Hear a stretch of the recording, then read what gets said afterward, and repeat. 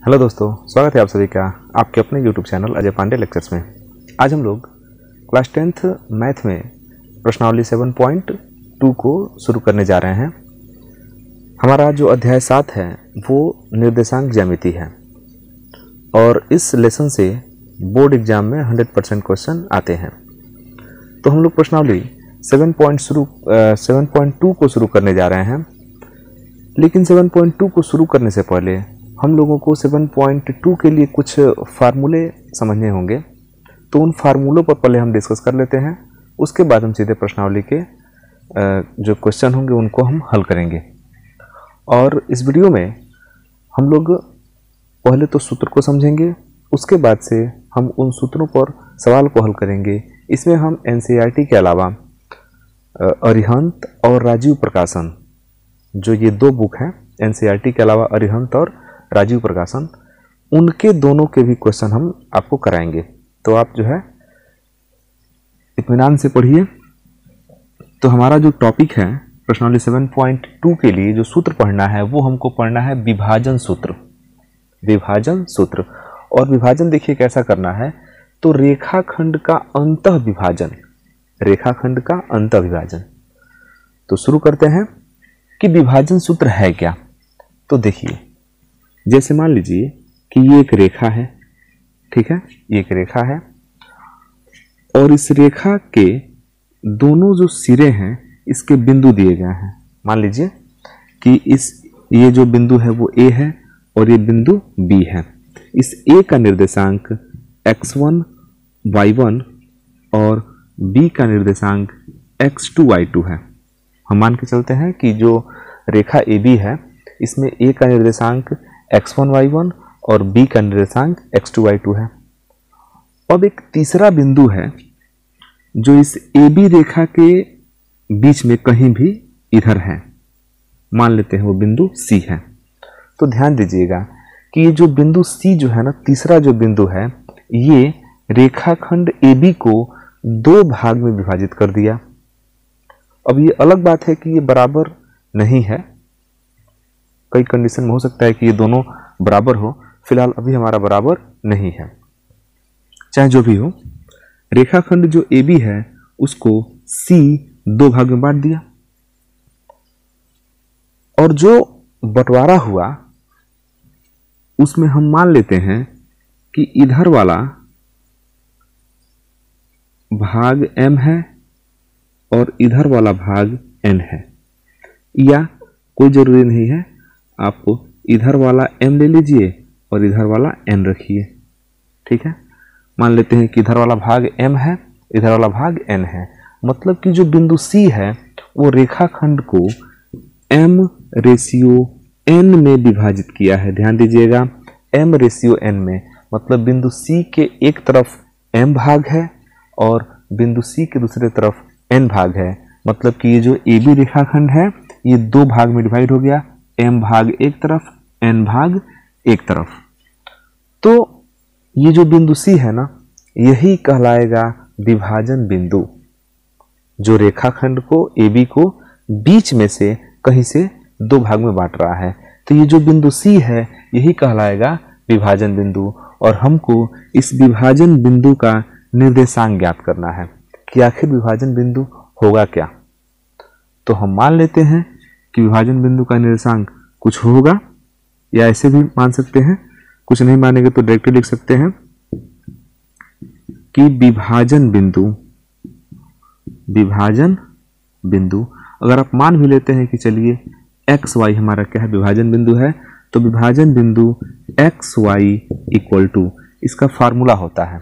विभाजन बिंदु X Y equal to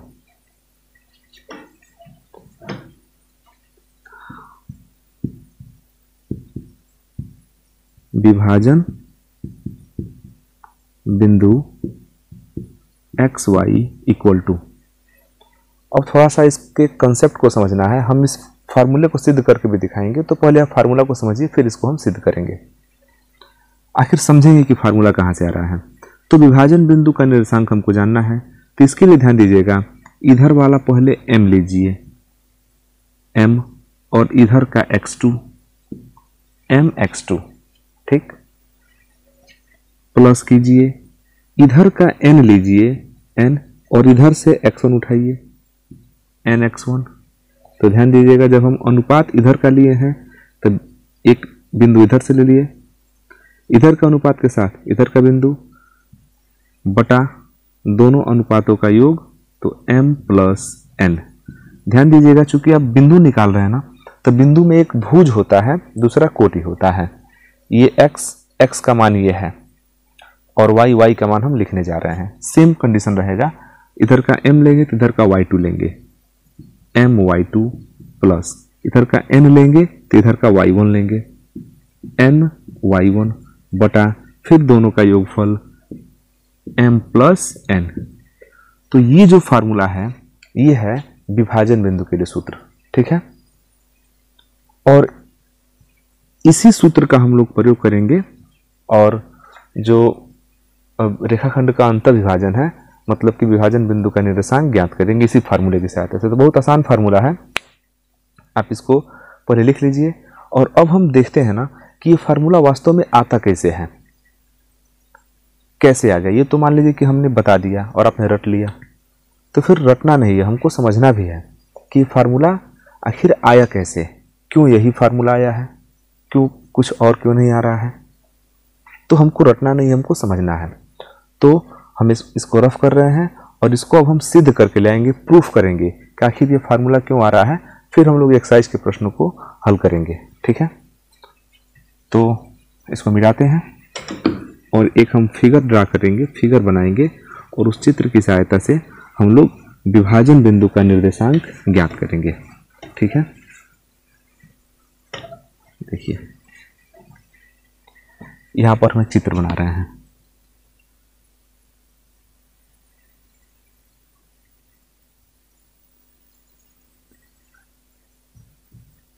x अक्ष वाई अक्ष, ठीक है? थोड़ा सीधा, समझिएगा इसको। ये हमारा एक्स अक्ष है, ये हमारा क्या है? वाई अक्ष है। ये आप जानते हैं कि मूल बिंदु है। मूल बिंदु को हम लोग सामान्य रूप से ओ से दिखाते हैं। ठीक है? ये मूल बिंदु है। अब हम एक रेखा लेते हैं ए बी जैसा कि हम लोगों ने लिया था रेखा ए बी तो वैसे ही एक रेखा हम यहाँ पर ले लेते हैं ए बी ठीक है? ध्यान दीजिएगा। एक रेखा हम यहाँ पर ले लिए ए और एक रेखा ले लिए बी ठीक है? एक रेखा हमने ए बी ले लिया।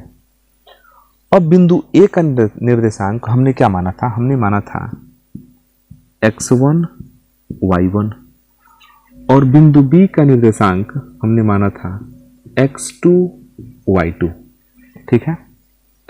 बिंदु ए का निर्देशांक हमने क्या माना था? एक्स वन वाई वन और बिंदु बी का निर्देशांक एक्स टू वाई टू हमने माना था। और इसके दोनों के बीच में कहीं भी एक बिंदु सी है एक बिंदु सी है, जो इस रेखा को एम रेशियो एन मतलब कि एक भाग एक तरफ़ एम भाग है, दूसरे तरफ़ एन भाग है। तो एम रेशियो एन अनुपात में क्या कर रहा है इसको? बांट रहा है। एम रेशियो एन में इसको बांट रहा है। दो भाग में बांट रहा है। तो हमको इसी विभाजन बिंदु सी का निर्देशांक ज्ञात करना है। ध्यान से समझिएगा बिल्कुल। इसी विभाजन बिंदु सी का निर्देशांक ज्ञात करना है। और इसके लिए हमने डायरेक्ट फार्मूला लिखा था। लेकिन अब आपको हम समझा रहे हैं कि फार्मूला आता कहाँ से है, ठीक है? तो ध्यानपूर्वक समझिएगा। पहले हम इस बिंदु पर थोड़ा डिस्कस कर लेते हैं कि ये बिंदु वास्तव में है क्या।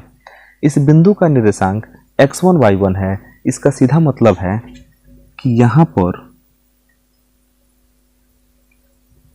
यहाँ पर पहले हम x1 दूरी तय किए हैं। x अक्ष पर x1 चले होंगे और y अक्ष पर हम लोग y1 चले होंगे यहाँ पर ऊपर। ठीक है? मतलब ये दूरी x1 है और ये दूरी y1 है, तब जाके इस बिंदु का निर्देशांक बनेगा x1 y1 ठीक है? और यहाँ पर x2 y2 का मतलब हुआ कि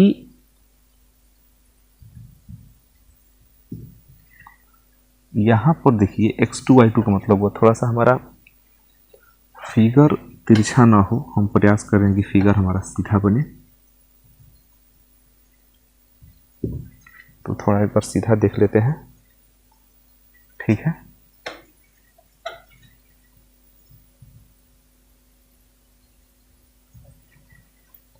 चलिए, ये सीधा बन गया।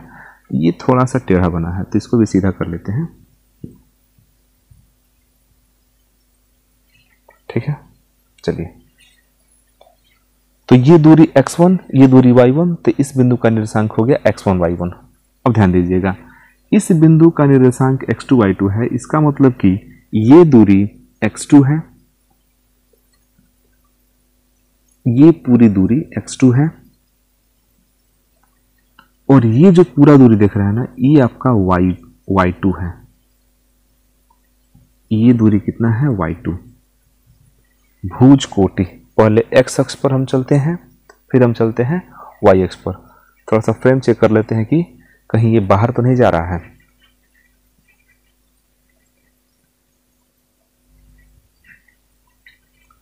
चलिए, सब ठीक है। तो ये दूरी x2 ये दूरी y2 तब जाके इसका निर्देशांक बनता है एक्स टू वाई टू इतना ठीक है? अब जो बिंदु सी है, बिंदु सी का भी तो कुछ निर्देशांक होगा। और उसी को हमको ज्ञात भी करना है। तो हम मान लेते हैं कि बिंदु सी का जो निर्देशांक है, वो एक्स वाई है। मान लेते हैं कि जो बिंदु सी है, इसका निर्देशांक एक्स वाई है। एक्स वाई ठीक है? तो बिंदु सी का निर्देशांक, इस बिंदु का निर्देशांक एक्स वाई होने का मतलब है कि इसका निर्देशांक एक्स वाई होने का मतलब है कि ये दूरी एक्स होगा। ध्यान दीजिएगा। ये दूरी यहाँ से, ये दूरी x, और जो ऊपर आप देख रहे हैं ना, ये दूरी पूरी y y है। ये दूरी कितना है? Y. ये दूरी x, ये दूरी y, तब जाके इस बिंदु का निर्देशांक बनेगा एक्स वाई ठीक है? इतना तो समझ रहे हैं। अब हम क्या करते हैं? कि यहाँ से इसको मिलाते हैं। हम ये दूरी ज्ञात करना चाहते हैं, ये दूरी। तो इस दूरी को अगर ज्ञात करें तो आप ध्यान दीजिएगा कि यहाँ से यहाँ तक ना टोटल दूरी x है और ये दूरी x1 है। तो इस टोटल दूरी में से ये दूरी घटा देंगे तो ये दूरी आपका बच जाएगा। तो ये दूरी होगा x माइनस एक्स बिल्कुल ध्यान से समझिएगा। ये जो दूरी है, ये पूरा x है। इसमें से x1 घटा देंगे तो ये दूरी बचेगा, वही तो यह होगा तो x माइनस एक्स वन अब आप इसको ध्यान से समझिए। ये पूरा दूरी y1 है y है, और ये दूरी y1 है, ध्यान दीजिएगा। ये दूरी y1 पूरा दूरी y तो y में से y1 घटा देंगे तो हमको ये दूरी मिल जाएगा, जिसको हम बोलेंगे, जिसको हम क्या बोलेंगे? Y माइनस वाई वन ध्यान दीजिएगा। ये पूरी दूरी y है और ये दूरी y1 है तो y में से y1 घटा दिए तो ये बच गया कितना? तो y माइनस वाई तो ये दूरी मिल गई हमको y माइनस वाई अब हमको इसका कुछ नाम देना पड़ेगा। इसका नाम थोड़ी देर के लिए d दे देते हैं, ठीक है?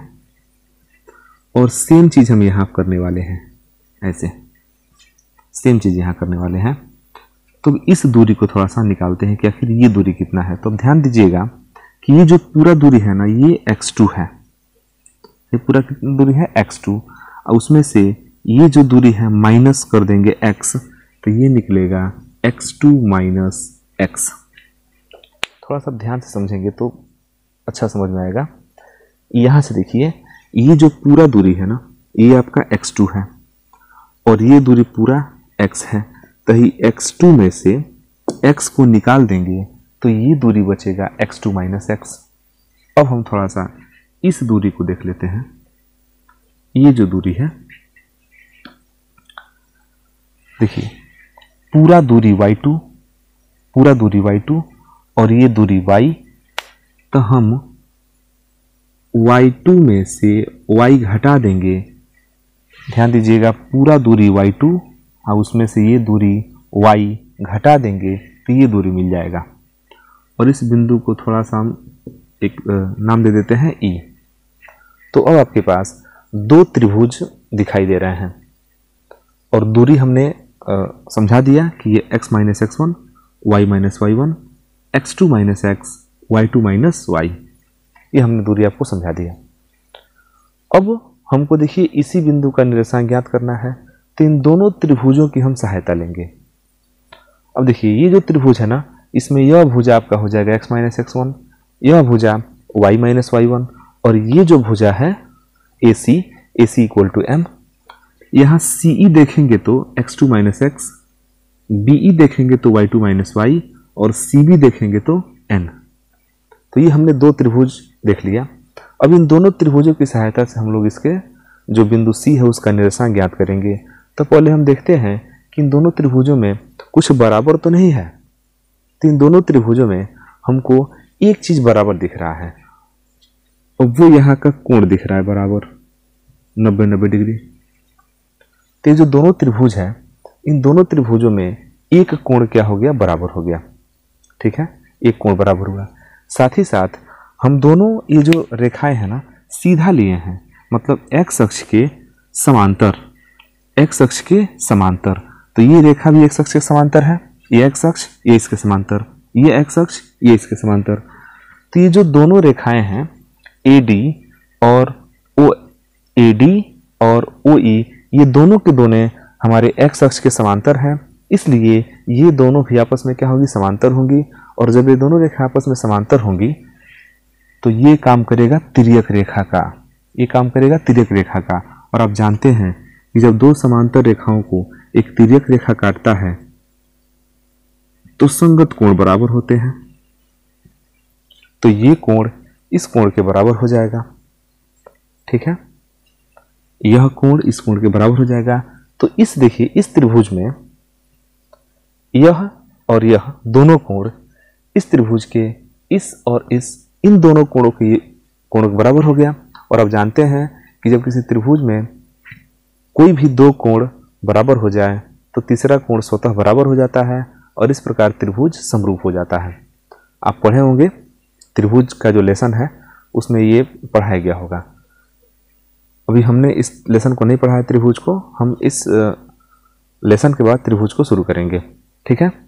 तो आप सीधे सीधे याद रखिए कि किसी त्रिभुज में अगर दो कोण बराबर हो जाए तो त्रिभुज को समरूप बोलते हैं। तो हम कह सकते हैं कि चित्र के अनुसार, चित्र के अनुसार, चित्र के अनुसार त्रिभुज ए डी सी त्रिभुज ए डी सी समरूप त्रिभुज सी ई बी त्रिभुज सी ई बी ठीक है? दोनों त्रिभुज समरूप। तो जब दोनों त्रिभुज समरूप हो गए तो आप जानते हैं समरूप त्रिभुज में एक नियम होता है कि जब त्रिभुज समरूप हो तो उनके संगत भुजाओं के अनुपात बराबर होते हैं। तो संगत भुजाओं का अनुपात मतलब कि बड़े वाले में का एक भुजा, बटा छोटे वाले में का एक भुजा। तो बड़े वाले में का एक भुजा लेते हैं A D टिप्लाइज that A D by इसमें का एडी लेंगे ना तो इसमें का सी ई लेना पड़ेगा, क्योंकि संगत भुजा लेना है। इसका आधार ले रहे हैं तो इसका भी क्या लेंगे? आधार लेंगे। तो A D by C E A D by C E equal to इसमें का अगर लंब लेंगे तो यहाँ भी लंब लेना पड़ेगा। तो इसमें का ले लेते हैं सी डी तो इसमें का लेना पड़ेगा बी ई तो सी डी बटा बी ई सी डी बटा बी ई बहुत अच्छा टॉपिक है ये। और इसमें का अगर आपको कौन ले, लेना पड़ेगा ना ए सी तो इसमें का लेना पड़ेगा सी बी तो ए सी बटा सी बी ए सी बटा सी बी तो ये एक प्रमेय है, ठीक है? और प्रमेय की सहायता से हमने देख लिया कि इस त्रिभुज के दो कोण, इस त्रिभुज के दो कोण के बराबर हैं तो तीसरा स्वतः बराबर होगा। और जब त्रिभुज के तीनों कोण बराबर हो जाते हैं तो उस त्रिभुज को समरूप त्रिभुज कहते हैं। और समरूप त्रिभुजों के भुजाओं का जो अनुपात होता है, संगत भुजाओं का जो अनुपात होता है, इनके संगत भुजाओं का अनुपात क्या होगा? बराबर होगा।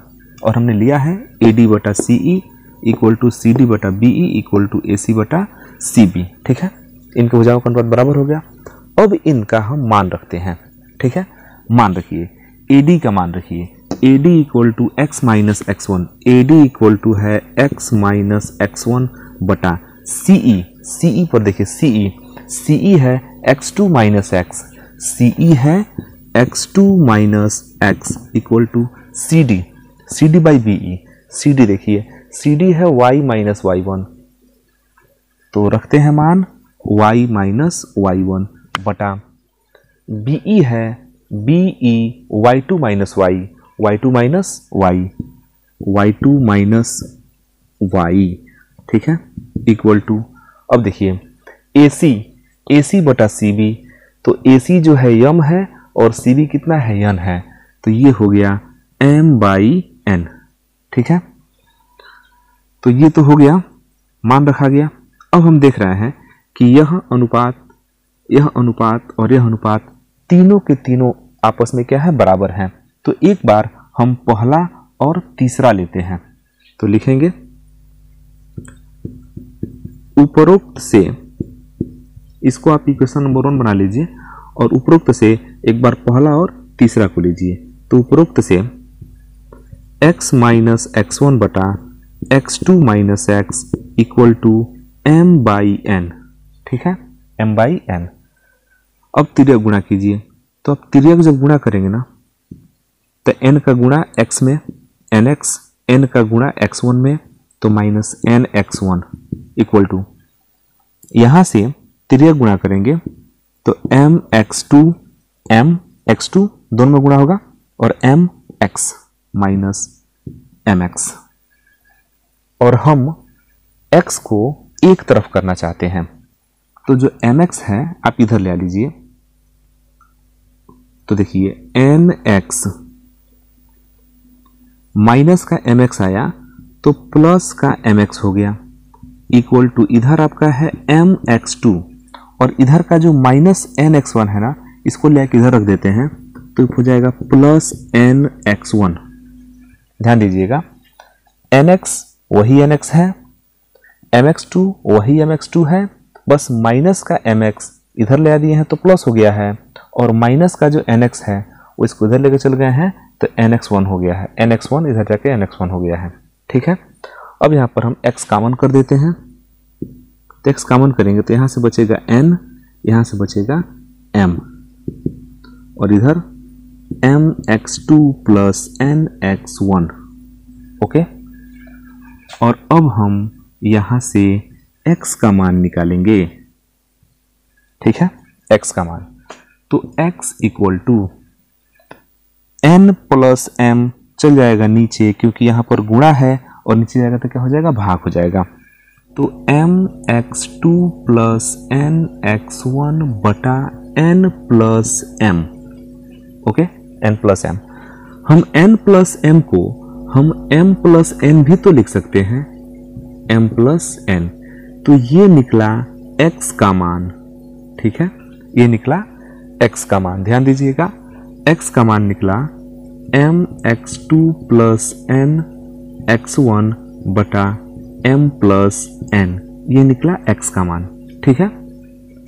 मतलब कि भूज निकल गया। भूज निकल गया। अब हम देखिए अभी हम फ़र्स्ट को और थर्ड को इक्वेट किए थे, बराबर किए थे।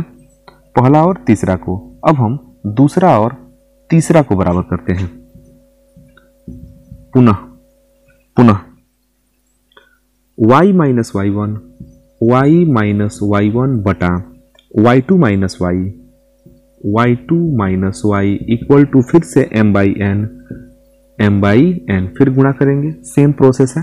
फिर गुणा करेंगे तो n का गुणा करेंगे y में तो ये हो जाएगा Y N Y N minus Y one का गुणा करेंगे एन में तो Y one N equal to M का गुणा करेंगे वाई टू में तो एम वाई टू और एम का गुणा करेंगे माइनस में माइनस वाई में तो माइनस एम वाई ठीक है?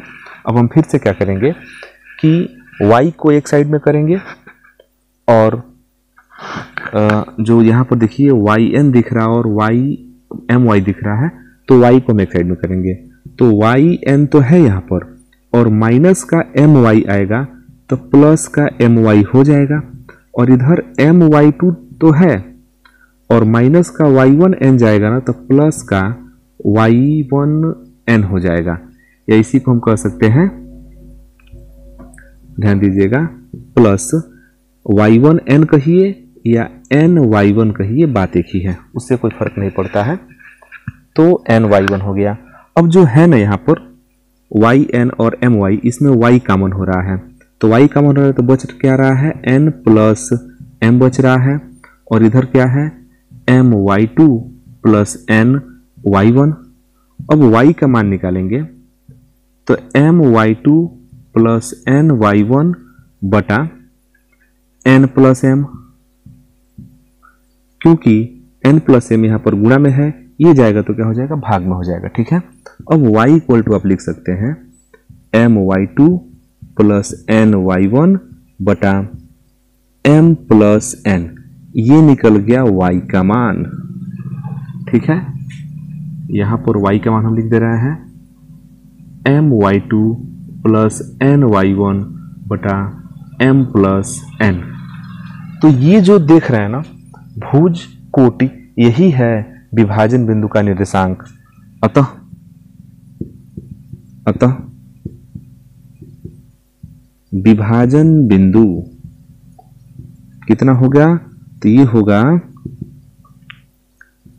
M X two plus N X one बटा M one M plus N ठीक है?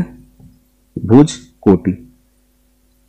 M Y two plus N Y one बटा एम प्लस एन तो यही फार्मूला हमने लिखा था, ठीक है? और इस तरह से आपके विभाजन बिंदु का ये सूत्र निकल गया M X two plus N Y one बटा एम प्लस एन ठीक है? M X two plus N X one बटा एम प्लस एन और M M Y two plus N Y one बटा एम प्लस एन तो ये x का मान भूज है हमारा, ये भूज है और ये क्या है? कोटी है। ठीक है? तो आप इसका एक बार स्क्रीनशॉट ले लीजिए। फिर आगे बढ़ते हैं। और आगे बढ़ के हम चित्र को थोड़ा सा मिटाना चाहते हैं। अब देखिए थोड़ा सा एक लाइन समझा दें कि अभी तो सी हमारा बीच में नहीं है।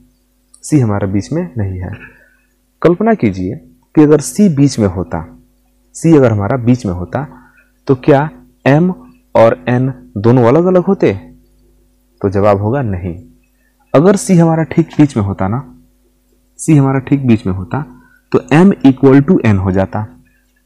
अगर सी ठीक बीच में होता, ये रेखा है, और ठीक बीच में सी है तो ये वाला हिस्सा, इस वाले हिस्से क्या हो जाएगा? बराबर हो जाएगा। तो अगर यह यम है, अगर यह यन है, और दोनों हिस्सा बराबर है मतलब एम इक्वल टू क्या है? यन है। तो अगर आपका विभाजन बिंदु मध्य बिंदु हो तो उस कंडीशन में एम जो है एन के बराबर होता है। तो यहाँ पर थोड़ा सा हम इसको मिटा रहे हैं और इसको थोड़ा सा आगे बढ़ाते हैं।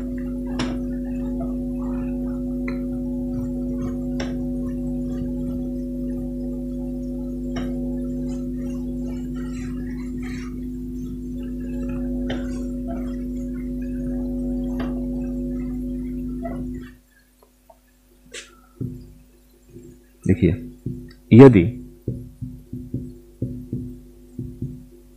विभाजन बिंदु मध्य बिंदु हो, यदि विभाजन बिंदु मध्य बिंदु हो तो तो m इक्वल टू एन हो जाता है, m जो है n के बराबर हो जाता है।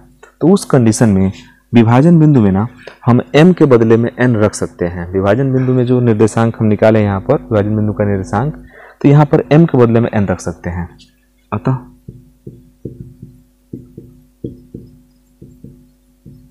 विभाजन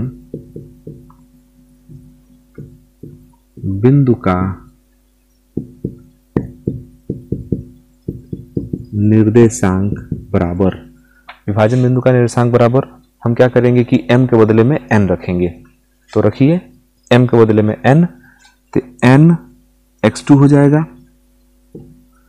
n x2 प्लस n तो n ही है, n x1 n x1 हम क्या किए हैं? m के बदले में n रखे हैं, ठीक है? बटा। m प्लस एन तो m के बदले में n रखा जा रहा है तो n प्लस एन हो जाएगा। n प्लस एन आगे देखिए। M Y two plus N Y one है तो एम के बदले में एन रखा जा रहा है तो हो जाएगा N Y two N Y two plus N Y one बटा एम के बदले में एन रख रहे हैं तो एन प्लस एन हो जाएगा। एन प्लस एन और इस प्रकार, इसमें से एन कॉमन होगा, थोड़ा सा हम बड़ा कोष्टक का प्रयोग करने जा रहे हैं। तो इसमें से एन अगर कॉमन होगा तो N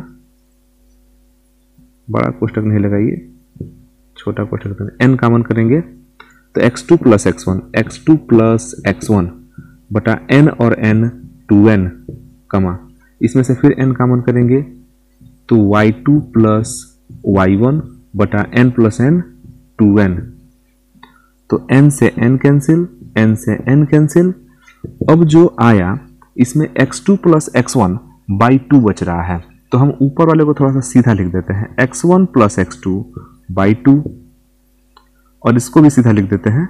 Y one plus Y two by by two Y two plus Y one लिखिए या Y one plus Y two लिखिए, कोई इसमें दिक्कत नहीं है। तो ये आपका हो गया। अब ये क्या हुआ? अब ये मध्य बिंदु है। तो ये मध्य बिंदु के लिए सूत्र हो गया। ठीक है? और मध्य बिंदु के अलावा कोई भी बिंदु हो तो ये फार्मूला हो गया। तो इस फार्मूले की सहायता से हम लोग प्रश्नावली सेवन पॉइंट टू को हल करेंगे ठीक है? एक और इसमें टॉपिक पर थोड़ा सा हम डिस्कस करना चाहेंगे एक और टॉपिक पे। तो इसके लिए आ, हम चाहेंगे कि आप पहले इसका स्क्रीनशॉट ले लीजिए फिर हम बात करते हैं उस पर ठीक है? ले लीजिए। तो हम बस इतना मिटाएँगे इतना मिटाने से हो जाएगा ठीक है?